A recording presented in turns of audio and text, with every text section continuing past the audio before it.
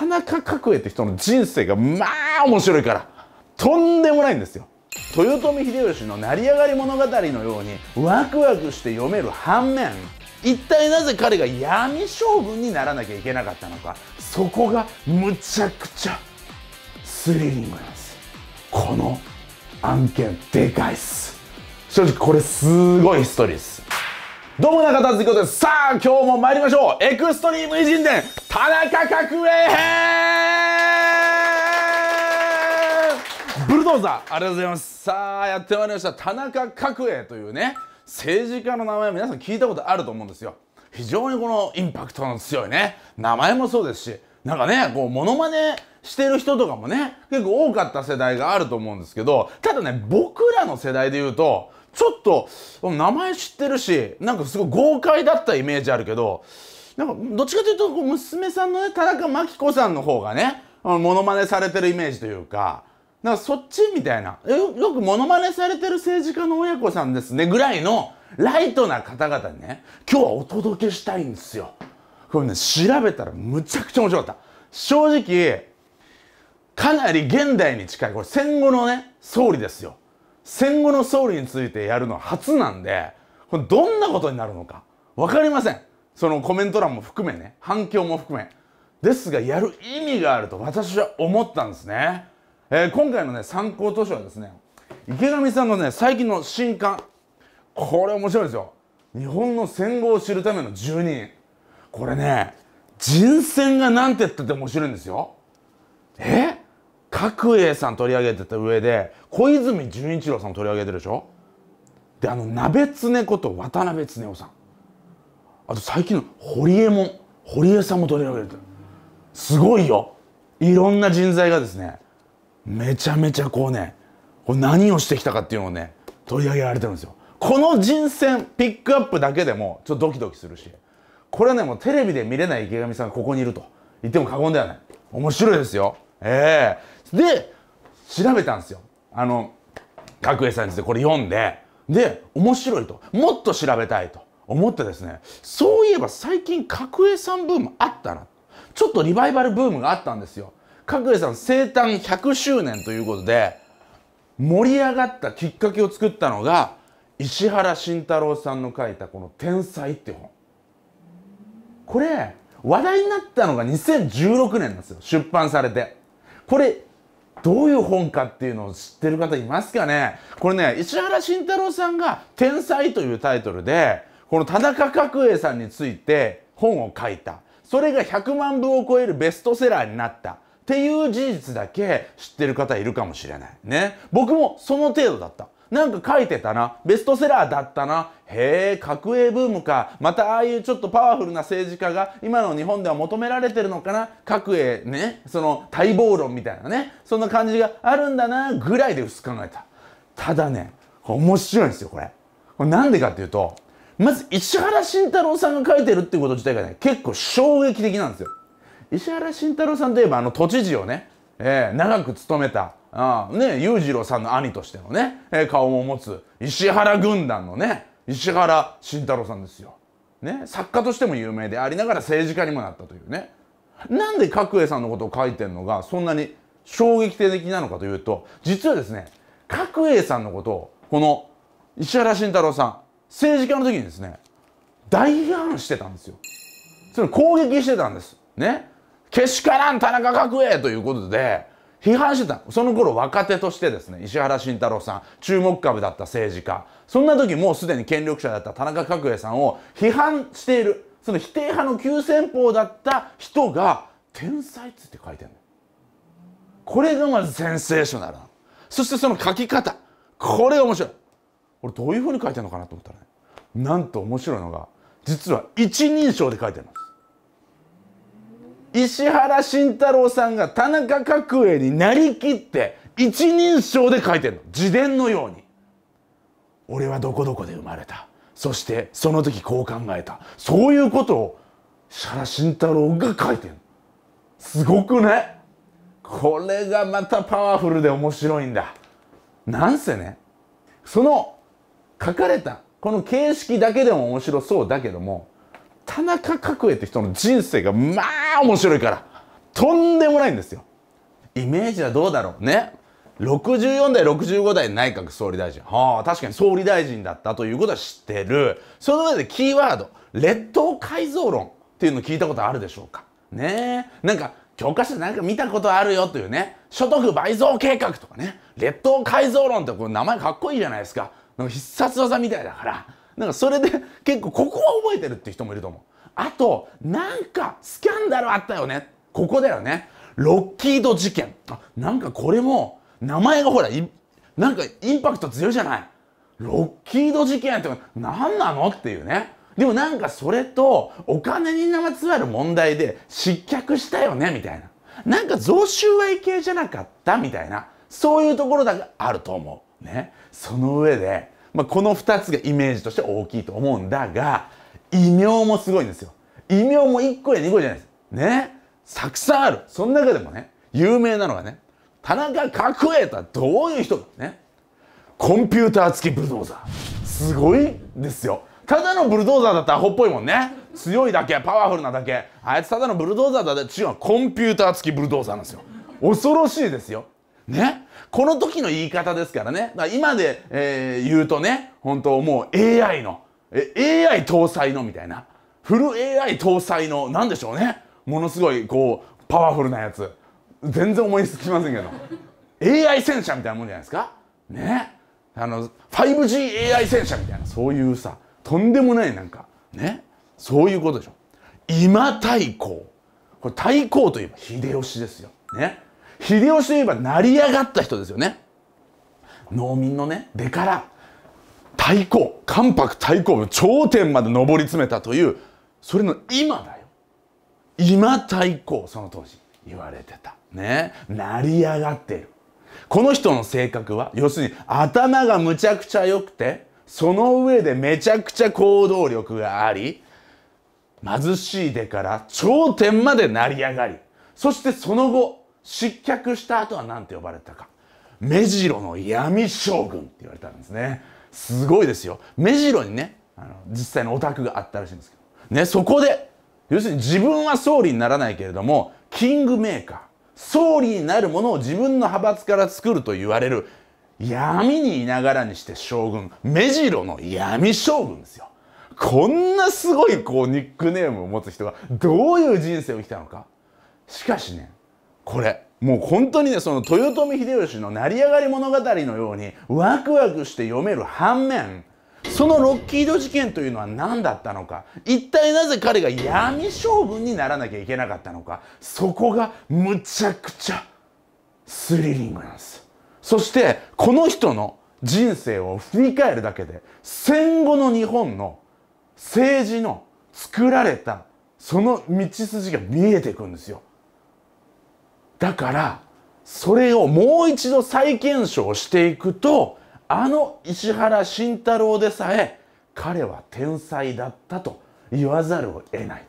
再再評価今こそすべきなんじゃないか。もしくは再評価ならずとも再検証するべきじゃないかというふうに言われています。この案件でかいっす。正直これすごいヒストリーですね。まずヒストリーいきますよ。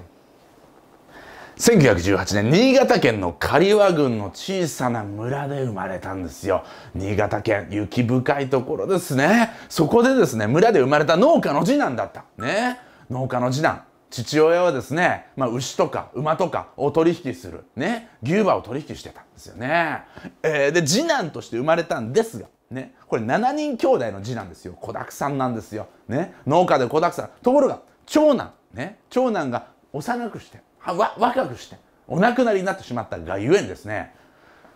実質長男だったわけです。そして7人兄弟。ね。残された他の全員が女の子だった。唯一の跡取り息子。として生まれたようなもんですね。ところがね後を取れるようなですねこう商売のね、えー、順調さではなかったんですよ。父親がですねこう種牛のですね輸入でうまくいかずに輸入した高価な牛がですね途中でね船の中で病気で死んでしまったりねあのこっちにたどり着いたようやく3頭のうちの1頭も、え会えなく死んでしまったりしてですねうまく扱えず大損。その上で競走馬にですね、えー、育てようとしてそこにかけるんですけどもそれがうまくいかずに大きな赤字を抱えてしまい極貧生活に入るわけなんですね。そしてえー、高等小学校というところを14歳で卒業するんですけども高等小学校何それ？まずそうですよね。これ戦前の教育システムなんですよ。今の教育システムっていうね小学校6年間あって中学校3年間あって高校3年間あってみたいなね。それでまああの義務教育が中学まででみたいな。そういうのはですね戦後なんですよ。この高等小学校っていうのは尋常小学校の次。つまり大体今でいう中学校ぐらい。で中学校ぐらい卒業した時にですね上の学校に行くこともできるよなったんですけど生活が貧しいっていうことでですねえそういうことやってる場合じゃないかもということで工事現場で力仕事始めるんですよ。ね君の成績なら学校進学してもいいんじゃないか先生は言ってたそうです。ね角栄君の成績だったら進学した方がいいよ。ね、というのもですねずっと成績良かったです頭がいいんですよ田中角栄さんはね、えー、成績がトップでですねでずっと級長クラスの委員長もやっていて卒業の時には学年総代表として挨拶もしてる。そんな人がですよ進学せずに極貧のためにですね働くんですよ。ね。工事現場で力仕事をする。ね。でもね突き当たるんですって。あれ？これだとそんなに家族を養えるほど満足にお金がもらえないかもしれない。もうちょっと方法はないかということで1ヶ月で辞めてですね今度は県の方に行くんですね。県の土木派遣所に行くわけですね。土木派遣所に行く、えー、それとですねこのこの前まで派遣される側だった人たちをですねこう監督する立場になってですね行くんですって。その時思ったんですって。この前まで俺をね新人の子供だと思って扱ってた人たちがこう現場監督として行ったらですねこうこうペコペコしだすわけですよ。そうか権力というのはそういうもんなのか。そういうことを学んだそうなんですねそしてつてがあるということで上京してですね、えー、そのそこでもですね、あのー、なんとかうまくいくかなと思いきやそのつてがですね上京した後でね当てが外れることが分かってよし、あのー、じゃあもうしょうがないからということで、あのやっぱり建設をちょっとやってましたのでそこで行こうと。いうことで、えー、建設会社に入るんですね。え住み込みで、えー、働きながらですね、えー、中央工学校の土木科夜間の専門学校ですね。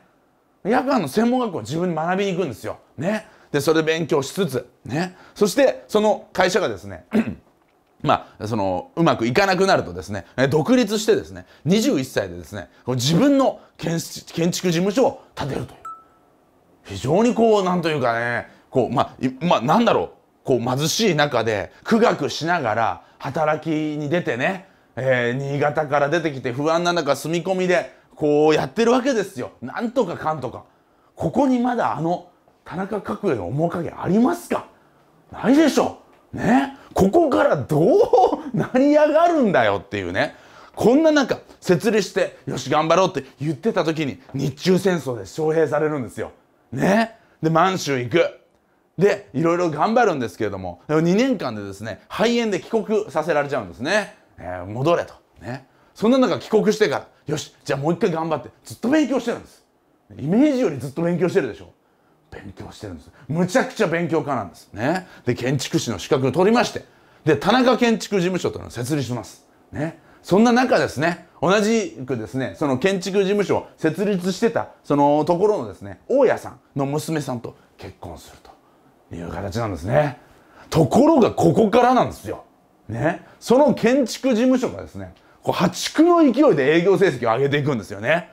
26歳。田中土建工業。ね。建築事務所から土建工業にですね名前を変えて業務形態もどんどんですねこうどんどんどんどん発注をですね増やしてですねなんと年間の施工実績が全国で50位に入る。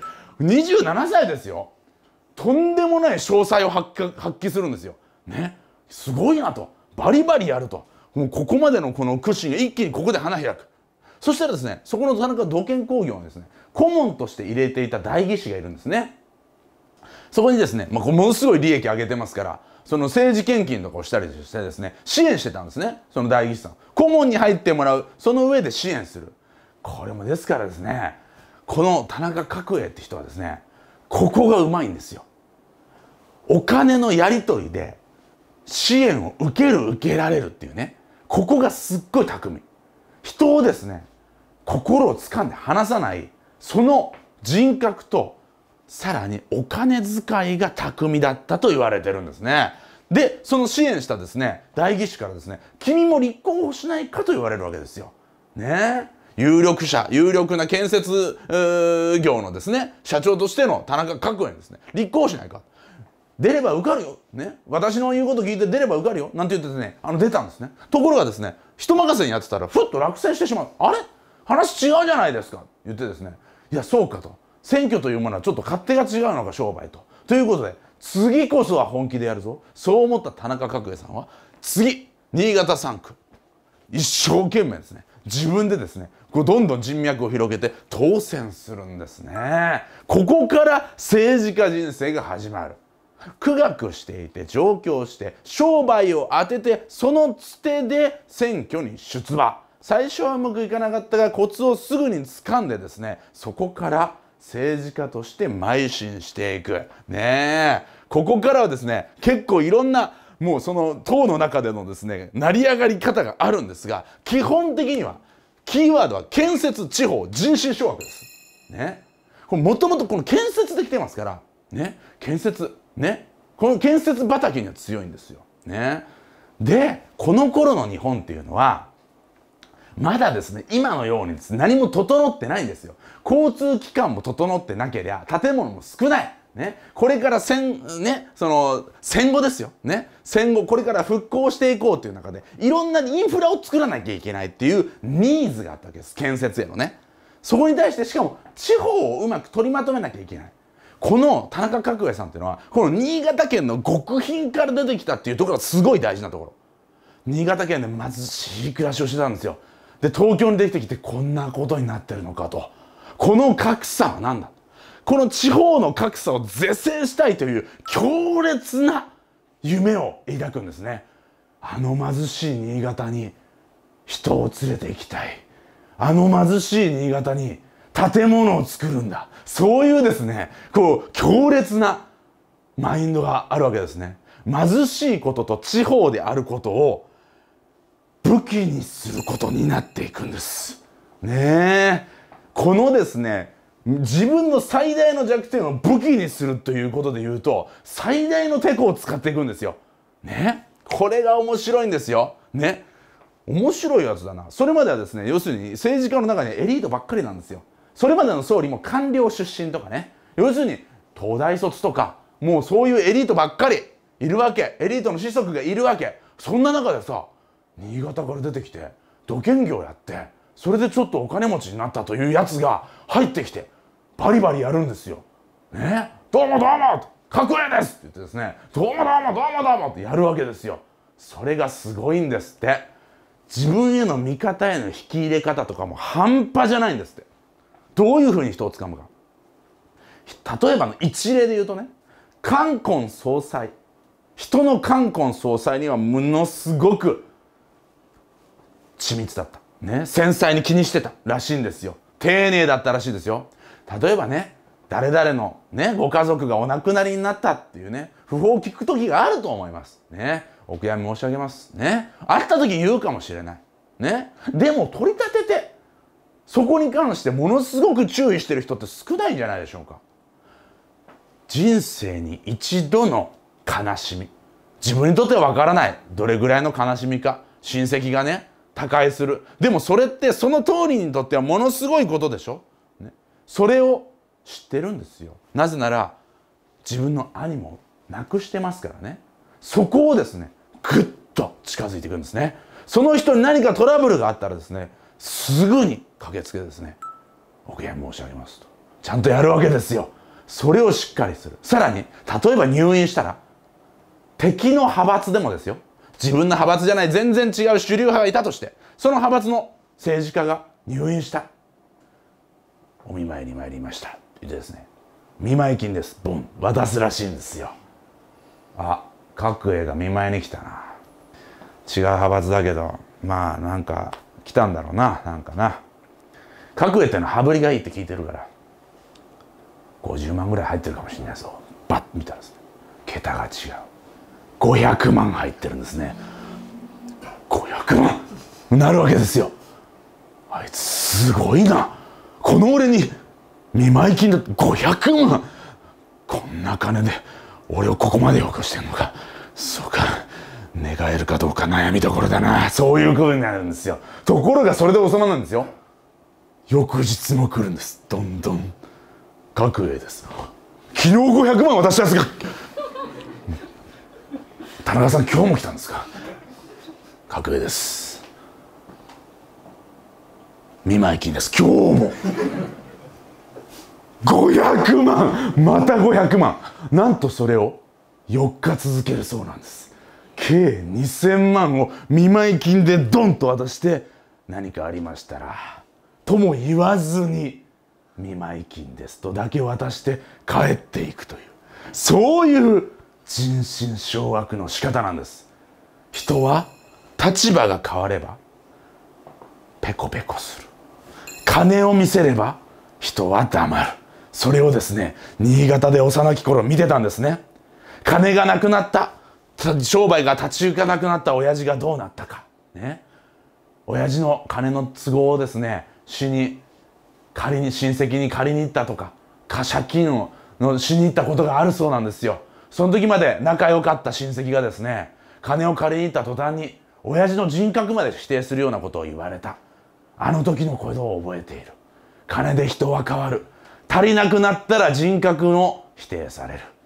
金が潤沢にあれば人格者だと思われる。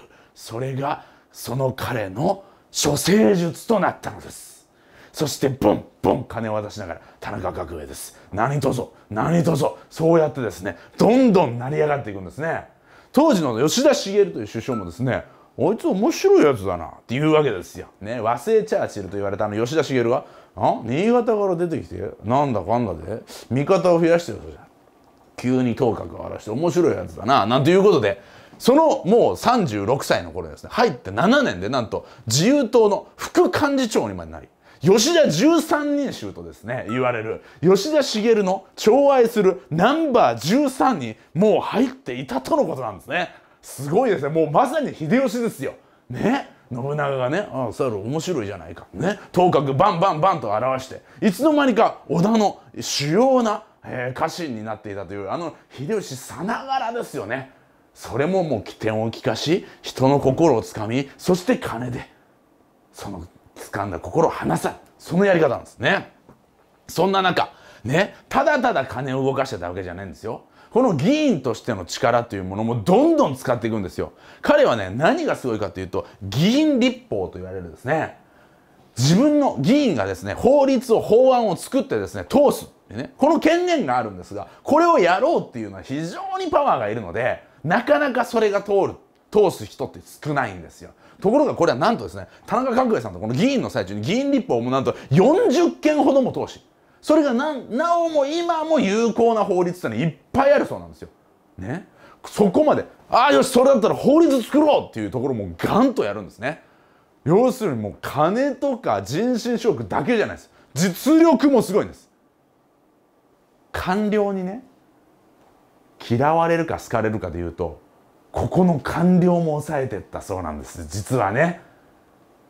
その官僚にですね会う時官僚と政治家って水と油なんて言われてね。政治家っていうのはこうねこうまあ家柄もしくは成り上がりでしょ。官僚っていうのは成績でやってきたでしょ。ね。で実務。そしてこっちは顔ですよ。ね。ここがうまくいかないかいくか。ね。だから官僚出身の政治家っていうのはここの調整がうまくいくなんて言われてたわけなんですよ。だから官僚に対して批判的な官僚出身じゃない政治家ってのはいっぱいいた。だから田中角栄もおそらく官僚出身じゃないから官僚とはうまくいかないだろうってみんなが思ってた。しかしそうではなかった。彼は官僚の心すらも掴んだんですよ。官僚のですね年次とか、ね、何年に入ってどこのポストを歴任したかとかも全部暗記してたそうなんですよ。あったらあ何年にね入賞された誰々さんですね。どこどこからどこどこへ来てどこどこでどこどこの仕事をなさってるよく知っております。そんなこと全部コンピューター付きブルドーザー。それで官僚も「あれ？俺たちのことをちゃんと人として評価してくれてるんだ。なかなかやるじゃないか。そういうふうに思わせたらしいんですね。そんな中でうんこの39歳にして岸内閣郵政大臣になるんです。39ですよ。大臣ですよ。これはなんと戦後初の30代の国務大臣だったそうです。超絶スピード出世。郵政大臣になって何をしたか。これがすごいんですよ。今のテレビ局新聞ね。系列があるでしょ。読売新聞と日テレ。ね。そういうことでしょ。産経新聞フジテレビ。あのテレビ局の系列化を進めてテレビっていう事業を日本で押し上げたのがこの郵政大臣の時の田中角栄なんですよ。今のテレビ局っていうシステムを作ったのが田中角栄だったんですすごいですね。そのテレビ局を郵政省の管轄下影響下に置いたということでマスコミにものすごく顔の利く政治家になるんですよ。マスコミの創立に関わりマスコミを牛耳ることになるんです。ね、おいそれと田中角栄の批判をテレビでやることはできませんよ。という空気になる。まことか嘘か分かりませんがそういう空気かなと周り思いますよね。そういう風になっていくんですね。テレビを作りそして池田内閣の時には大黒大臣そして佐藤内閣の時に通商産業大臣岸池田佐藤というこのね三、うん、もうね大人物で岸信介池田隼人佐藤栄作ですからね。もう戦後のもう超メジャー総理のもう大臣大臣大臣やります。ね。その上でこの佐藤内閣の時ですね。佐藤栄作内閣って長く続いたんですよ。そしてもうね何期目もやってる。いよいよですね。佐藤栄作の次は誰なんだと言われて始めるんですね。そこでかつて吉田13人衆だった田中角栄はその間にですねぐーっとさらに影響力を高めてもうナンバー4入ってるんですよ。それが三角大福と言われるんですね。三木武雄そして田中角栄で、えー、大平正義そして福田武雄という三角大福。この4人だろうと言われるなんだ。そしてさらにそこからギューッと絞ってもうツートップ核福戦争と言われるなるんです。それが田中角栄と福田武雄なんですね。福田武雄というのはエリートです。ね。ものすごいエリートです。だから佐藤栄作もエリートなのでこの田中角栄よりもこの福田武雄を押すだろうというのが大方の見方だった。福田武雄だろうというふうにこの4人の時とかも言われてた。しかしですねその中ででもですね角栄はバンバン人心をつかんでどんどんどんどんその間を埋めていくんですね。ですから順当にいけば佐藤栄作はこの福田武雄を指名しようと思ってたんですがもう指名したらエコひいきだと言われるぐらい力が拮抗してしまったんです。そしてとどめを刺したのがこの通産省代の時の列島改造論なんですよ。全責任は私が取る。金。人格知識パワー行動力全てを兼ね備えて内閣総理大臣に就いた暁にはですねもう支持率は国民80%を超えてたそうなんですね。そんな中文藝春秋がやってくる。ここなんですよ。文春法ですよ。